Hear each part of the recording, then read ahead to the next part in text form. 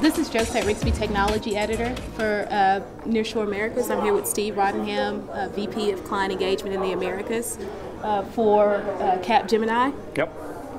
Um, so, what do you feel are some of the most favorable attributes that make up a good nearshore location? What are the key things that technology leaders should be looking for? I think really having the, the right talent on the mm-hmm. ground is okay. first and foremost. So, you've got to have a good talent pool mm-hmm. ready, available um, to work, and available to train as well. So, mm-hmm. good university system um, coming through, get the governments that are supporting them, both with language mm-hmm. and product um, services as well. Mm-hmm. So really it's, it's down to have you got the right people uh, that can speak English if it's for, for the US market, mm-hmm. um, or a good pool with good product offering for the rest of Latin America. Okay.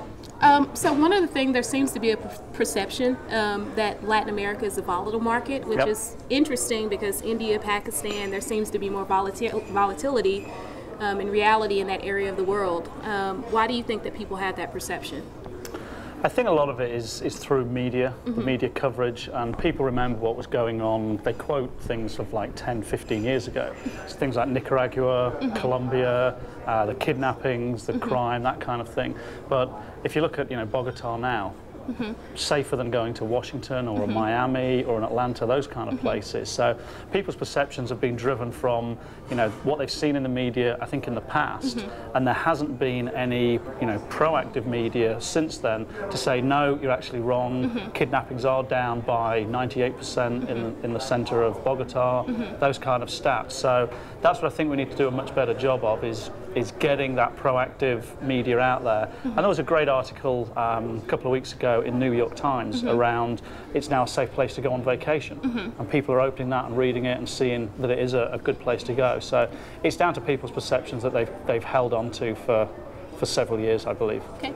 Um, so, how important do you feel it is for, um, for uh, companies that are considering leveraging a nearshore firm to actually be on the ground, given all the technology options that are available now, such as web conferencing, um, virtual environments? Do you think that it really adds a lot for them to be on the ground in the environment? Yeah, absolutely. I think it's critical to get on the ground. Um, and is that a two-way thing? Does the vendor need to come here and the uh, purchaser need to go there? I think for nearshore, there's a lot of people within the teams uh-huh. from the vendor side that have actually been to the US. Uh-huh. Um, I think it's important once you go down a, a, certain path, there's a certain point where absolutely you need to get on the ground with the client at mm-hmm. the client's operation and understand what his operations are. Mm-hmm. But I think for clients going down to see the, the, providers, it's critical to go down and see more than a conference room. Mm-hmm. So a video conference will give you, it'll show you the people, and mm-hmm. it'll show you their attributes and their competency, which is great.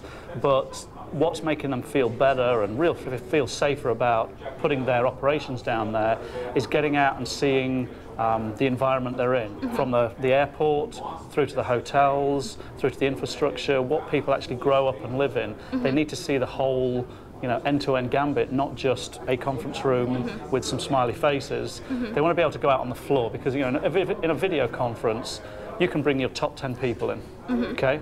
And then you may get a, you know, a different perception than 200 people that you can go out on the floor and pick and choose who you want to talk to totally at random. So for me, it's absolutely critical that you get out there um, and just take in the, the, whole culture and environment. So um, since you feel that talent is one of the most important attributes um, in, in, terms of selecting a nearshore location, um, even if they have talent, how do you feel that the attrition rates um, in the Latin American countries impacts that? Is it? Is, do you feel that it's high or low, or does it depend on the country? Or it, it's one of those where attrition rates depend on the country, uh-huh. they depend on the company, and they're going to depend on the process mm-hmm. as well. So depending on if you have um, straight contact center work, mm-hmm. you often see a little bit higher attrition versus if you've got finance and accounting mm-hmm. processes uh, where people see more of a career path. Mm-hmm. And that's what we're trying to encourage, and that's really what you know this event has been ab- about, mm-hmm. is encouraging more of the investment on offering different products, more value add, and you'll see the attrition drive down. If people can see a career path, that's, the, that's a critically important thing to them.